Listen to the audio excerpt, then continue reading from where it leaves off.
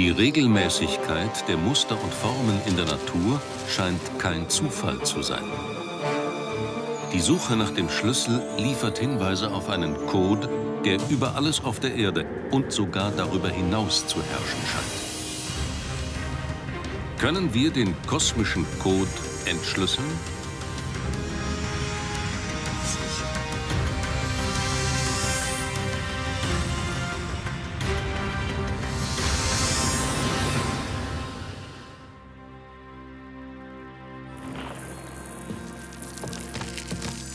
Herzlich willkommen bei Faszination Universum. Periodische Vorgänge in der Natur, die geben Vertrauen. Und Vertrauen, das ist der Anfang von allem. Regelmäßigkeiten um uns herum, die schaffen Sicherheit, weil man auf sie zählen kann. Aus einer chaotischen Umwelt voller Gefahren wird so eine wenigstens in Teilen berechenbare Natur. Und schon seit Urzeiten hat die Entdeckung, dass die Zahlen in der Natur auftreten, den Verdacht genährt, es könnte einen kosmischen Code geben, dass Zahlen Macht über die Natur haben und vielleicht sogar über uns. Dabei ist unser Verhältnis zu Zahlen eher geteilt. Zahlen gelten als nackt und kalt, aber wir haben auch Glückszahlen. Und dann haben wir noch Zahlen für gewisse Tage. Three, two, one, zero. All engine running. Liftoff. We have a liftoff. Es ist der 16. Juli 1969. Start der Mission Apollo 11. Das Datum erinnert nicht an eine besondere Glückszahl, aber die Mission wurde zu einem Meilenstein in der Eroberung des Universums. Ein Menschheitstraum ging in Erfüllung.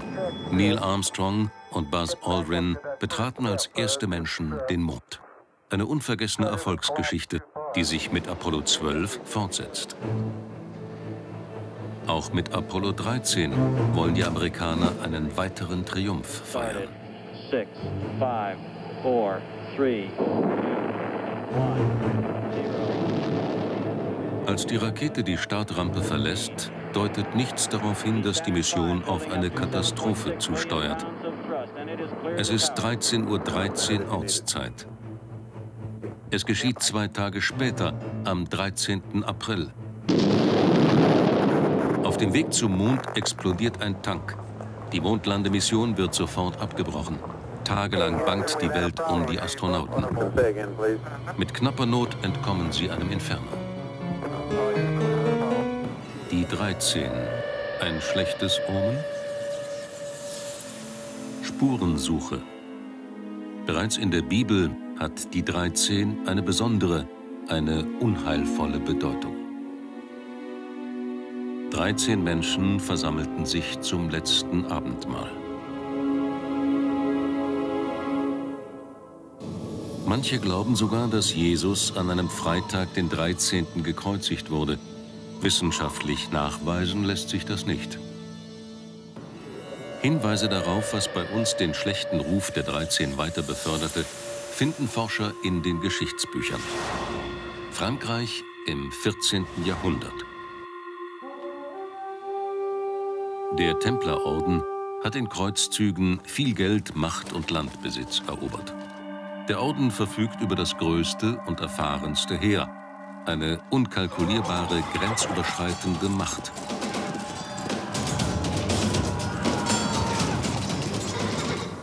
Der Einfluss des Ordens wächst in ganz Europa, vor allem jedoch in Frankreich, selbst mit wenig ehrenhaften Methoden.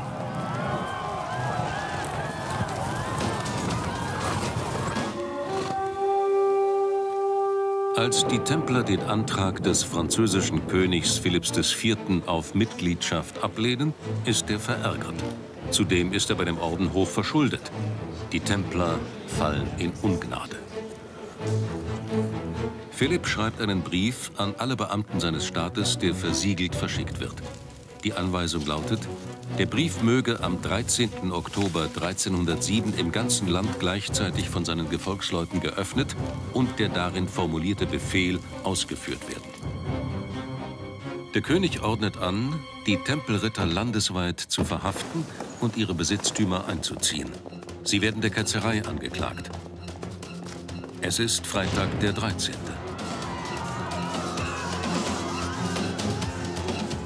Der Mythos der Unglückszahl 13 scheint bestätigt.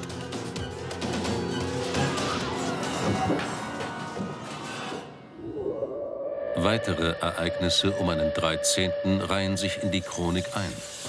Berichte kommen selbst aus der neuen Welt. Als Henry Bliss am Abend des 13. September 1899 in New York die Straße überquert, geschieht es.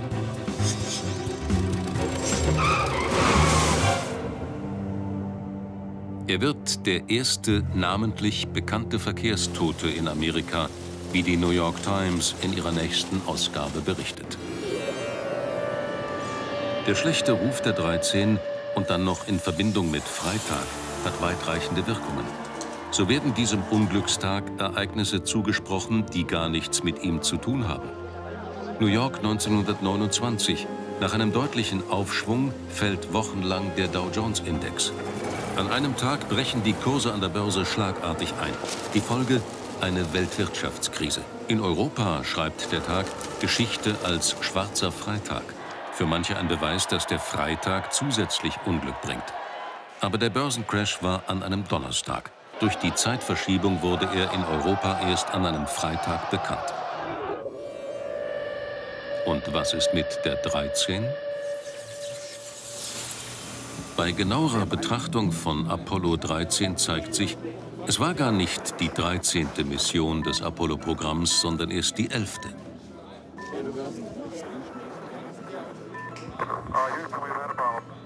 Die Missionen 2 und 3 hat es in der Zählung gar nicht gegeben. Doch trotz allem, bis heute hält sich der Glaube, die 13 ist eine Unglückszahl. Viele glauben, an einem Freitag, den 13., sei Autofahren besonders gefährlich. Doch statistische Untersuchungen zeigen, das Risiko ist an allen Freitagen gleich hoch. Dennoch bleibt die 13 vielen unheimlich. In vielen Hochhäusern fehlt deshalb der 13. Stock. In Hotels gibt es kein Zimmer mit der Nummer 13. Und den schönsten Tag des Lebens wollen viele keinesfalls mit einem Freitag, den 13. verbinden.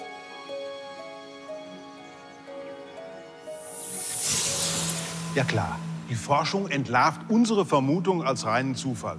Und doch, es gibt Loserzahlen und mit denen will man nichts zu tun haben. Die 13 ist so ein klassischer Verlierer. Die krankhafte Angst vor Freitag, dem 13., hat übrigens einen wissenschaftlichen Namen. Paradeska Vedica Triaphobie. Also für alle Paradeska Vedica Triaphoben hier die schlechte Nachricht für 2015. Innerhalb von vier Wochen zweimal Alarm. Tut mir leid, im Februar und im März. Na, wie auch immer, die 13 passt vielen von uns nicht. Und früher passte die 13 noch nicht mal in die Harmonie der Welt. Und was nicht passte, das wurde passend gemacht. Merke, wie viel Unheil ist durch Weglassen schon verhindert worden. Zu einer Zeit, als nur der Mond und die Sterne die Nacht erhellten, regte der Himmel die Fantasie der Menschen an. Früh begannen sie, in den hellsten Sternkonstellationen Bilder zu erkennen. Mystische Tiere und sagenumwobene Fabelwesen.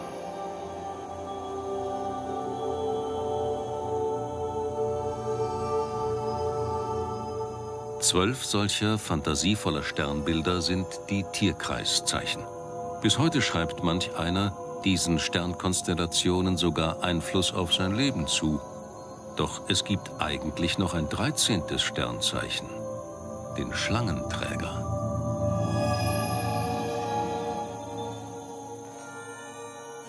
Was die Sternzeichen gegenüber anderen Sternbildern auszeichnet, ist ihre Position am Himmel.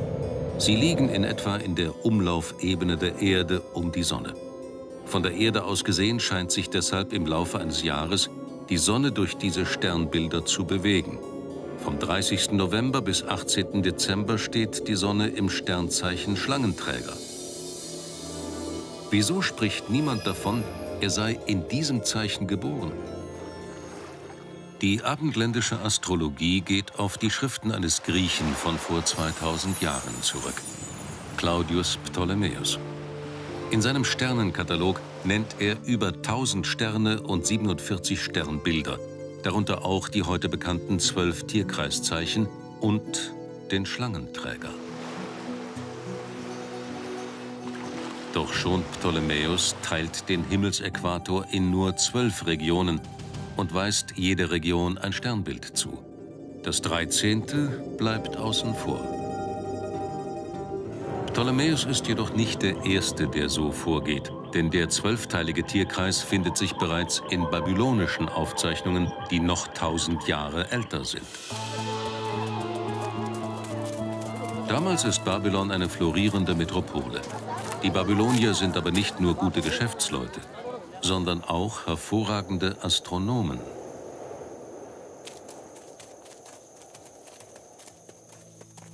Ihre Beobachtungen werden die Himmelskarten noch tausende Jahre später prägen.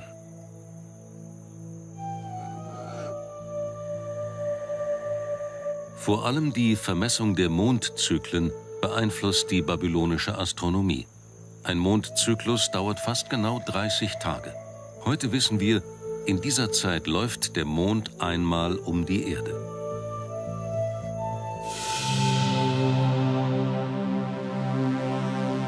Bis die Jahreszeiten wiederkehren, vergehen etwa zwölf Mondzyklen. Denn so lange braucht die Erde für ihren Umlauf um die Sonne.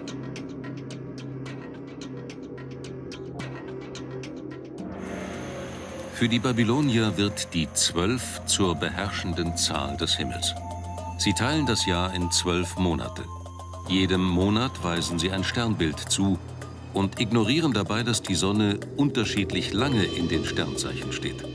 Zum Beispiel nur sieben Tage im Skorpion und ganze 44 Tage in der Jungfrau.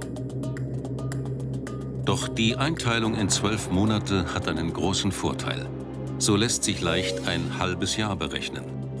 Oder in Viertel oder auch Drittel teilen. Bei einer Einteilung in 13 Abschnitte würde immer eine krumme Zeitangabe entstehen. Deshalb musste das 13. Sternzeichen der Übermacht der praktischen Zwölf weichen. Im Laufe der Zeit ist der Schlangenträger in Vergessenheit geraten. Die Zwölf ist aber auch wirklich eine sehr schöne Zahl. 12, das ist 2 mal 6. Und die 6 ist eine vollkommene Zahl, denn 6 ist 1 plus 2 plus 3. Die Summe all ihrer Teiler. Also die 12 ist quasi doppelt vollkommen, fast göttlich. Im Griechischen heißt sie Dodeka und daraus ist bei uns im Deutschen das Wort Dutzend geworden, eine überschaubare Menge.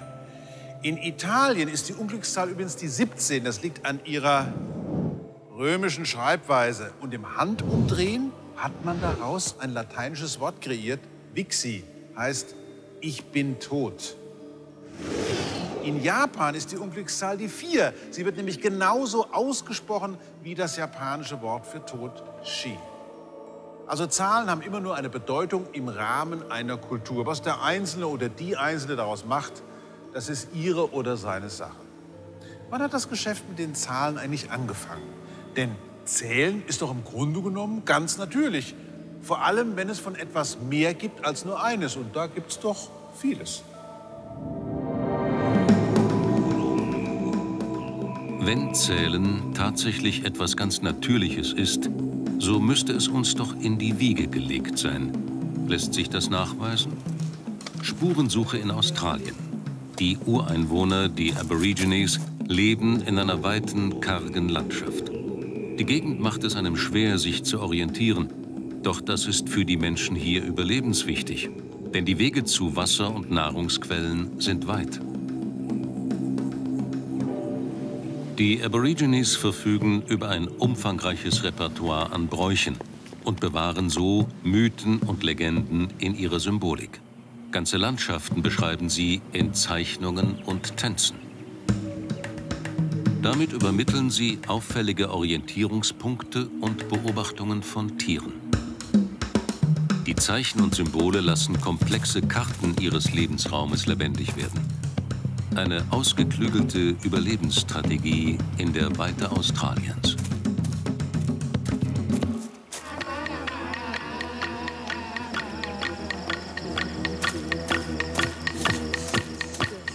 Forscher wollen herausfinden, wie die Aborigines zählen und womit sie rechnen. Die Befragung von Ureinwohnern bringt Verblüffendes zutage.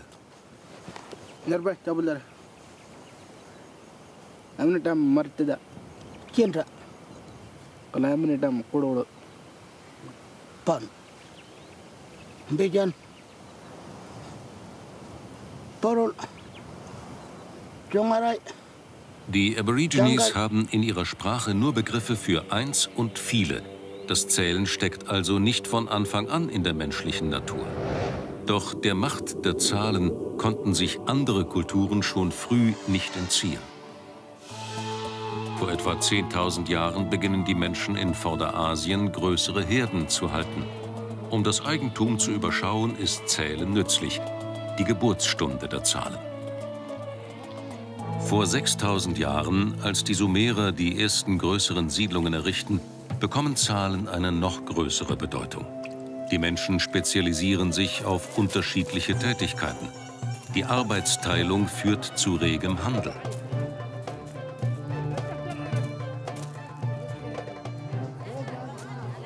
Es wird getauscht und gefeilscht. Mengen und Wertigkeiten werden gegeneinander abgeschätzt.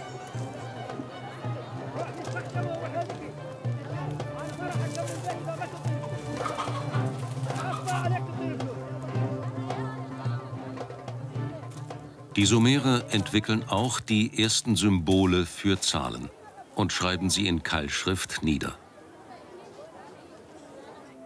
Aber Jonglieren mit Mengen sollte bald nicht mehr ausreichen.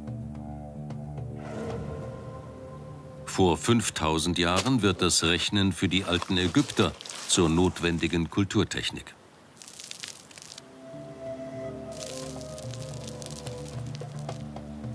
Sie profitieren vom Nil für ihre ausgeklügelte Landwirtschaft.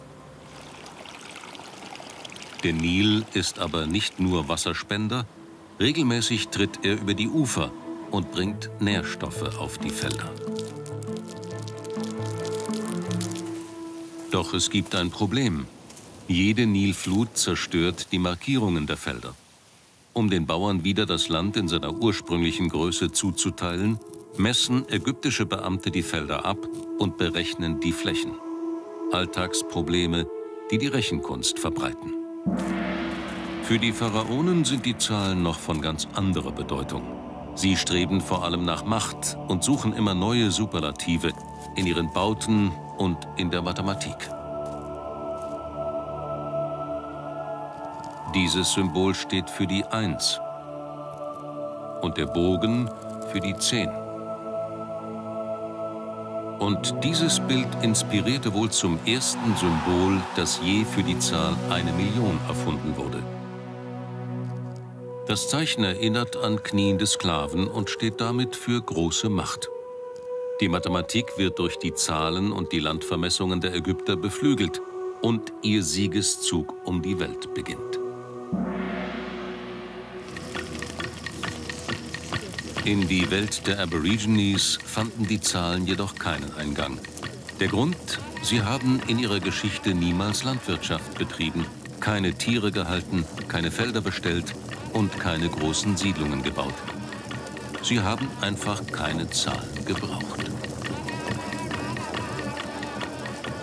Die australischen Eingeborenen, die müssen wirklich ein fantastisches Gedächtnis haben.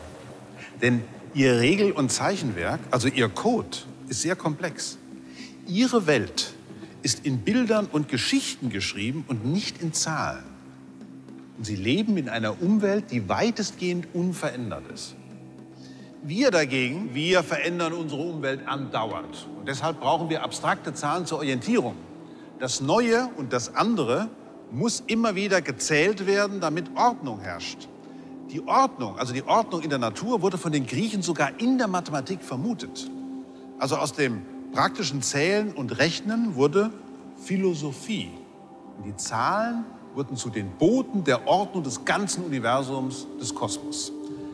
Ja, aber so manches mathematische Rätsel brachte die Griechen an den Rand der Verzweiflung. So zum Beispiel folgende Frage. Kann man nur mit Lineal und Zirkel bewaffnet eine Kreisfläche in eine gleich große quadratische Fläche verwandeln. Klingt einfach, ist es aber nicht. Ein Drama mit tödlichem Verlauf nimmt hier seinen Anfang. Im antiken Griechenland vor mehr als 2000 Jahren. Es ist eine Zeit großer kultureller Errungenschaften. Schon in ihren Kunstwerken zeigen sich die künstlerischen und technischen Fähigkeiten der Griechen. Keine Aufgabe scheint zu schwierig, keine Herausforderung zu groß. Für die gigantischen Tempelbauten lösen sie Probleme der Statik. Mathematik und insbesondere die Geometrie spielen eine wichtige Rolle für die griechischen Denker. Die Philosophen streben nach Perfektion, nicht nur in der angewandten Mathematik, sondern auch in theoretischen Fragen. Die Quadratur des Kreises stellt die Gelehrten vor ein richtiges Problem und verursacht Kopfzerbrechen. Vor allem einen lässt dieses Rätsel nicht los. Archimedes. Er ist ein hoch angesehener Ingenieur und Mathematiker. Und er verfällt der Fragestellung, wie sich die Fläche eines Kreises exakt durch ein Quadrat darstellen lässt. Ein Quadrat, das sich von außen an den Kreis schmiegt, ist zu groß. Unterteilt man die Fläche in vier kleinere Quadrate, so kann man versuchen, mit dreien von ihnen die Fläche zu bedecken. Doch diese Fläche ist zu klein. So sehr man sich auch bemüht, keine Näherung genügt den Anforderungen nach Exaktheit. Archimedes lässt dieses Problem nicht los. Während er sich ganz in seine Wissenschaft vertieft, wird seine Heimatstadt Syrakus von römischen Soldaten gestürmt. Ein Soldat fordert ihn auf, seine Arbeit zu unterbrechen. Archimedes soll unwirsch entgegnet haben, störe meine Kreise nicht. Ein Satz mit Folgen.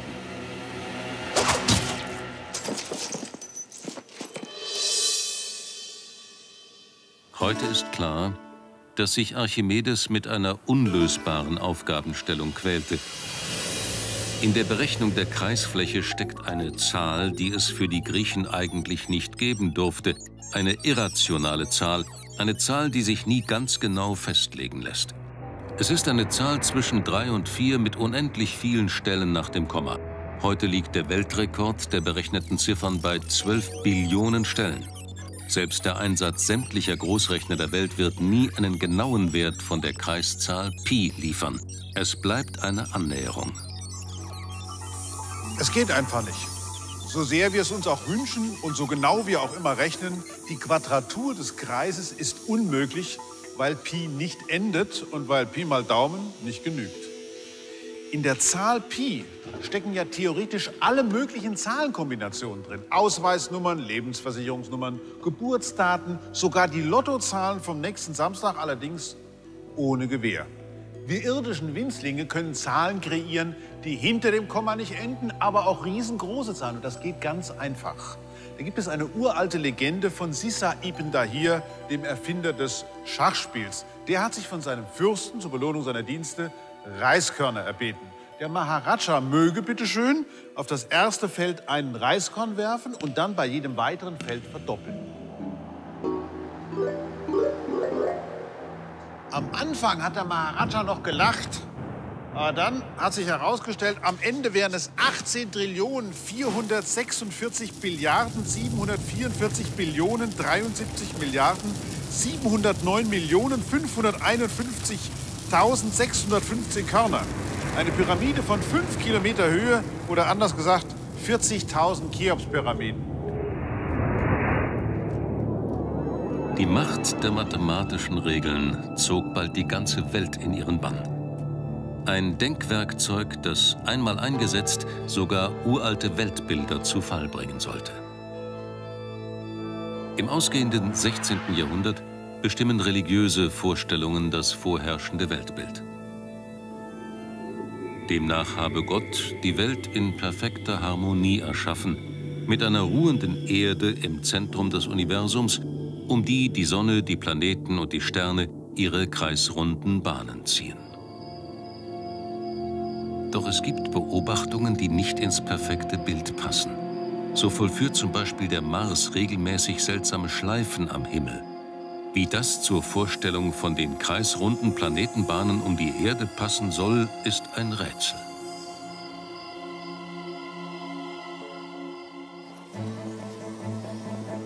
Zu dieser Zeit beginnt ein Klosterschüler, die Astronomie für sich zu entdecken.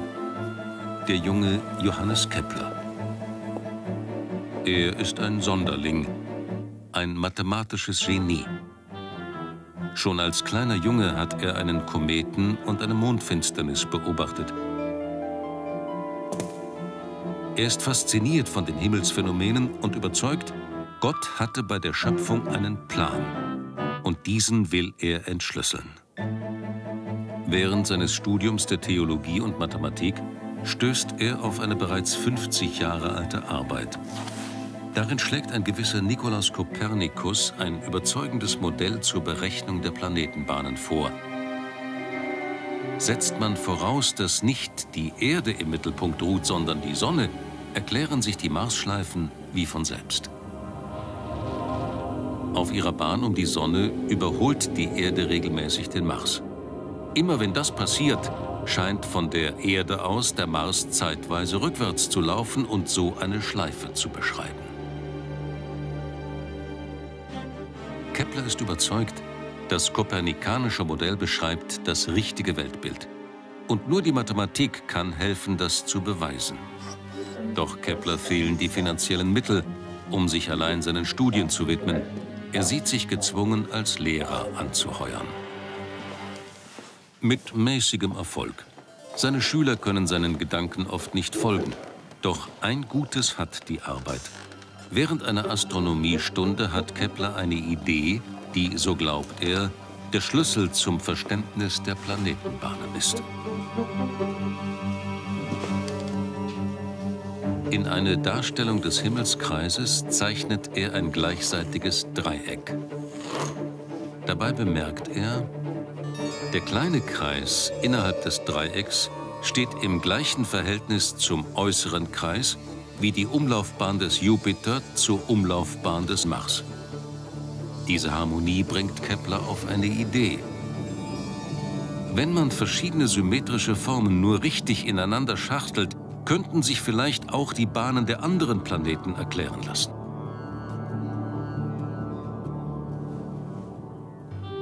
Dies wäre ganz im Sinne von seiner Vorstellung einer göttlichen Geometrie.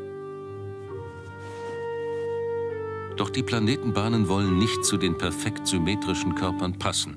Keplers Vermutung, sein Modell stimmt, nur die Beobachtungsdaten sind zu ungenau. Zu der Zeit ist Tycho Brahe der Astronom, der über die genauesten Daten verfügt. Jahrzehntelang hat er den Himmel vermessen. Auch er kennt die beiden konkurrierenden Himmelsmodelle. Brahe glaubt jedoch, dass die Erde im Mittelpunkt ruht. Anhand seiner Daten möchte er genau das beweisen. Doch ihm selbst fehlt die mathematische Begabung. Im Jahr 1600 lädt er deshalb Kepler ein, ihm in Prag zu assistieren. Tycho erwartet, dass Kepler für ihn beweist, die Erde ruht im Kosmos. Kepler hingegen hofft, mit Tychos Daten zeigen zu können, dass sich die Erde gemäß seiner göttlichen Geometrie bewegt – eine problematische Zusammenarbeit. Bald misstraut Tycho seinem Assistenten und gewährt ihm lediglich Einblick in die Daten der komplizierten Marsbahn. Doch genau diese Aufgabe führt Kepler auf die richtige Spur. Er sieht sich gezwungen, ein neues Modell zu entwickeln. Die Beobachtungen lassen sich am besten erklären, wenn die Planeten bei ihrem Umlauf um die Sonne keine Kreisbahnen, sondern Ellipsen beschreiben und wenn sie zudem umso schneller laufen, je näher sie der Sonne kommen.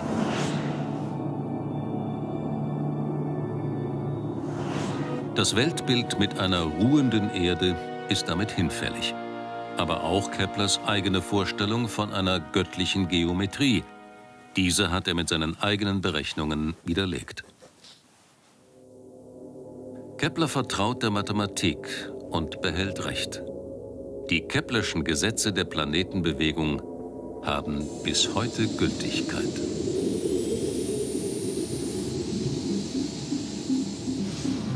Johannes Kepler holte die Planeten und die Sterne vom Himmel, indem er sie berechenbar machte. Er war fest von der göttlichen Ewigkeit der Geometrie überzeugt und diese seine Intuition brachte den Durchbruch für die rationalste Leistung des menschlichen Geistes. Die Mathematik wurde zu dem Instrument der Naturwissenschaften bei der Untersuchung der Natur und der Suche nach den Gesetzen der Natur. Naturgesetze, das klingt so, als ob die Mathematik auch ohne uns in der Natur wäre. Also wissen vielleicht auch Tiere, dass eins und eins zwei ist. Antwort geben da Wesen, die könnte man als irdische, außerirdische bezeichnen. Wesen wie von einem anderen Stern. Geboren aus streng geometrischen Strukturen. Bienen. Sie können Fähigkeiten entwickeln, die uns staunen lassen. Doch sollten sie auch ein Verständnis von Mathematik haben? Bienen gelten als besonders klug. Sie besitzen ein komplexes Kommunikationssystem. Mit komplizierten Tänzen übermitteln sie ihren Artgenossen Richtung und Entfernung von ergiebigen Futterquellen. Bienen haben einen gemeinsamen Code entwickelt, um komplexe Botschaften zu verschlüsseln. Doch könnten sie auch einen fremden Code knacken? Genau das wollen Forscher jetzt nachgewiesen haben. Der Versuch. Eine Biene sieht am Eingang einer Röhre ein Schild mit mehreren Punkten. Nur in Richtung des Wegweisers mit der gleichen Anzahl an Punkten gelangt sie zur Belohnung. Die Biene muss sich also die Zahl der Punkte merken und später wiedererkennen.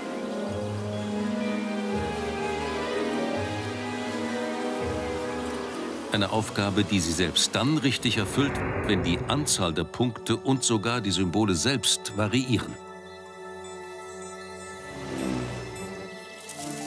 Der Versuch zeigt, Bienen können zumindest kleine Zahlenmengen unterscheiden.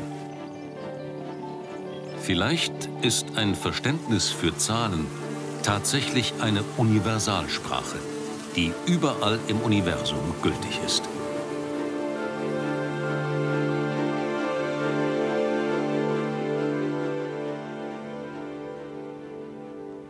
Also, dass die Bienen wissen, was mehr oder weniger ist, das ist ja schon überraschend. Andererseits, wenn man an ihren Tänzeltanz denkt, der zeigt ja, dass sie was von Geometrie verstehen. Denn durch ihr Tänzeln teilen die Bienen ja ihren Mitbienen mit, unter welchem Winkel relativ zur Sonnenstrahlung die fliegen müssen, damit die zur Futterquelle kommen. Das ist quasi ein Tänzel-Navigationssystem. Und wenn man dann noch an die Struktur der Bienenwaben denkt, da drängt sich doch der Gedanke auf, dass da ein mathematisches Zeichenwerk, ein Code hinter der Natur steckt. Könnte also nicht das Buch der Natur in Mathematik geschrieben sein? Viele Strukturen in der Natur sind so harmonisch und regelmäßig, dass man kaum glauben kann, sie seien zufällig entstanden.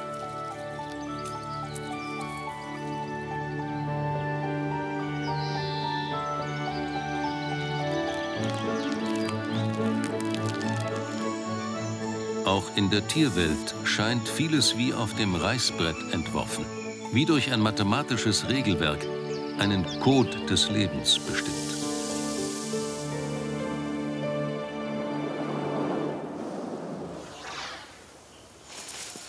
Im Gesamten wirkt die Natur jedoch komplex und undurchsichtig. Könnte sich dennoch alles auf bestimmte Gesetzmäßigkeiten, auf einfache Formeln zurückführen lassen? Manche Vorgänge in der Natur scheinen tatsächlich berechenbar. Die Flugformationen von Staren bilden komplizierte Muster. Und doch haben Forscher die Gesetze dahinter entschlüsselt und im Computer nachgebildet. Drei schlichte Regeln reichen dafür aus. Erstens, behalte die gleiche Fluggeschwindigkeit. Zweitens, bleib in der Nähe der Artgenossen. Und drittens, wenn ein Feind sich nähert, weiche aus. Mit diesen einfachen Gesetzmäßigkeiten lassen sich Muster erzeugen, die den echten starren Schwärmen erstaunlich ähnlich sind.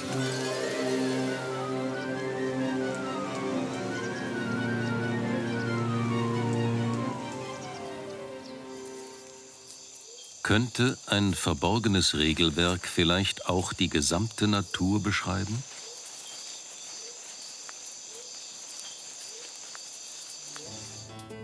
Ende der 1970er Jahre ist ein Mann fest davon überzeugt, Benoit Mandelbrot. Er glaubt, ein grundlegendes Prinzip erkannt zu haben. Strukturen in der Natur verzweigen sich oft zu immer feineren Unterstrukturen, die sich im Wesentlichen nur durch ihre Größe unterscheiden. Die Natur wiederholt sich selbst, so seine These. Indem man zum Beispiel einen Stamm immer wieder in zwei neue Zweige unterteilt, entsteht eine Struktur, die in der Natur ihr Ebenbild findet.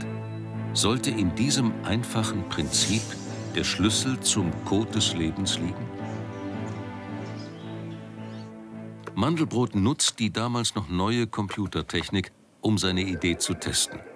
Was seine Formeln erzeugen, ist ein merkwürdiges Diagramm. Erst mit modernen Computern hoch aufgelöst, offenbart das Mandelbrot-Diagramm seine ganze Komplexität. Das Erstaunliche, die Feinstrukturen erinnern tatsächlich an vielfältige Formen in der Natur. So finden sich zum Beispiel Pflanzenstrukturen, schneckenähnliche Spiralen und Blattmuster.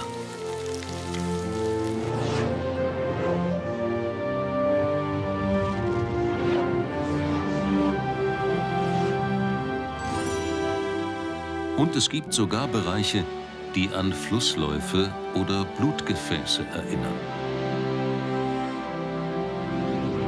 Doch so komplex das Diagramm auch scheinen mag, es entsteht durch das einfache Prinzip der Wiederholung. Ganz gleich, wie weit man hineinzoomt, man stößt immer wieder auf die gleiche Grundstruktur. Für Mandelbrot ist das der Schlüssel zum Code des Lebens. Benoit Mandelbrots Entdeckungen verweisen auf mathematische Prinzipien hinter den komplexen Strukturen der Natur.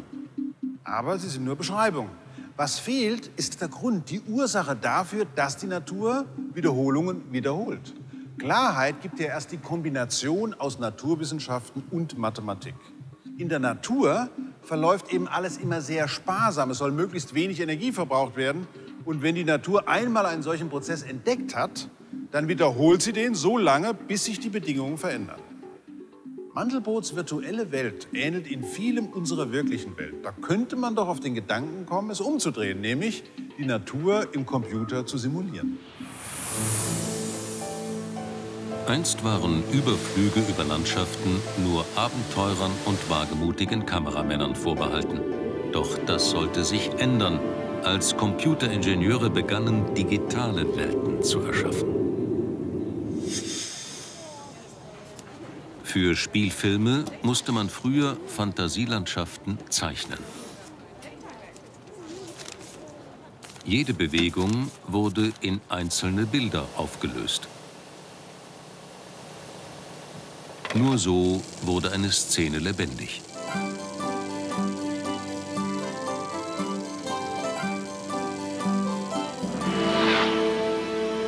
Einen Überflug zu zeichnen, bei dem sich das Bild der Landschaft ständig verändert, war eine schier unmögliche Aufgabe.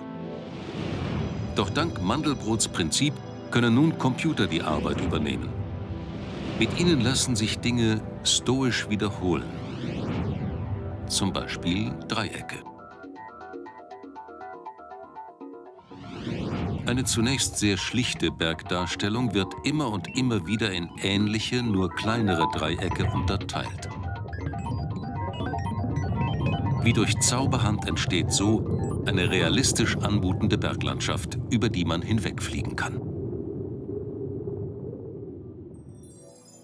Auch Pflanzen lassen sich nach diesem Prinzip gestalten.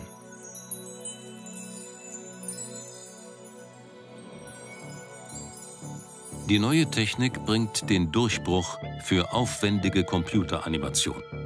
Bis heute werden Landschaften in Animationsfilmen nach diesen Regeln gestaltet.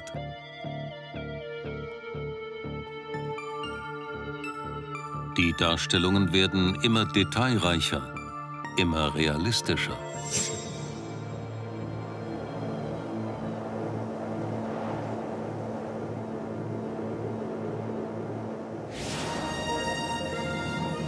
Doch Mandelbrots Prinzip der Wiederholung kann noch mehr als schöne Landschaften generieren. Manche Spezialeffekte wurden erst mit seiner Methode möglich.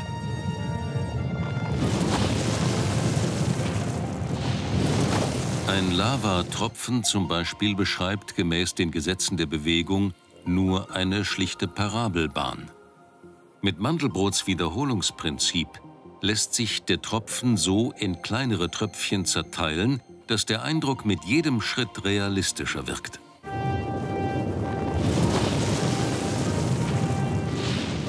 So hat Mandelbrots Code des Lebens zum Erfolg dieses berühmten Heldenepos beigetragen.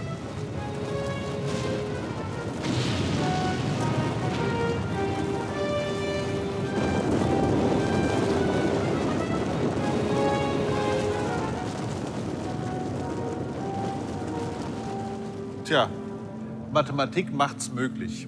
Glühende Lava umströmt sie, aber die beiden Jedis kriegen von der Gluthitze des Materials nichts mit und bleiben ganz cool.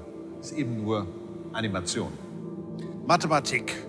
Mathematik setzt ins Verhältnis, gibt Maß und Zahl und ist völlig logisch. Aber warum die Welt so ist, wie sie ist, das kann die Mathematik auch nicht erklären. Natürlich kann man die Sonnenstrahlung berechnen, man kann sie genau messen, aber was daraus wird, das Leben auf der Erde, der Sauerstoff zum Atmen, die Wärme auf unserer Haut, davon wissen die Gleichungen nichts. Ich bin mir ganz sicher, Mutter Natur schmunzelt, wenn sie immer wieder sieht, wie wir versuchen, alles Mögliche zu berechnen. Denn sie weiß, es kommt ein Zauber, ein Geheimnis hinzu, das sich in keiner Zahl und keiner Formel ausdrücken lässt.